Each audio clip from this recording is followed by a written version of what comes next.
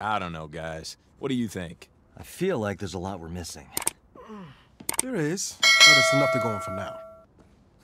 What about criminals? Don't we kind of need more than three if we want to call this thing an empire? There's four of us. Oh, are you planning on shooting anyone?